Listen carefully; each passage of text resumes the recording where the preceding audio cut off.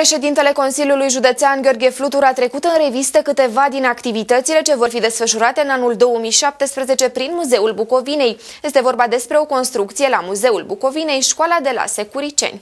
Anul acesta, în Muzeul Satului, va fi finalizată școala de la Securiceni.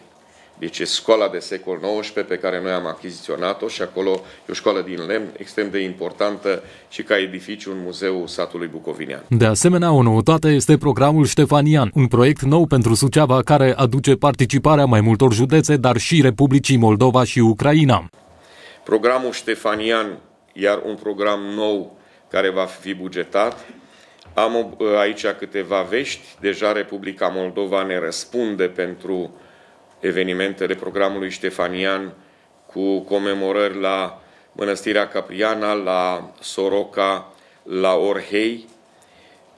Apoi județe Vasluiu răspunde cu evenimente, o să vă spun mai multe, care, în care vor fi implicați în acea perioadă în, pe teritoriul județului Vaslui, Iașiul la fel, Palatul Culturii, dar și bisericile de acolo, Uh, Botoșaniu răspunde cu evenimente, sunt cele două biserici titoria lui Ștefan din Botoșani, răspunde Alba Iulia cu cetatea care, Ciceului care este pe teritoriul lor, de fapt și nu mai este, sunt doar acolo doar niște urme.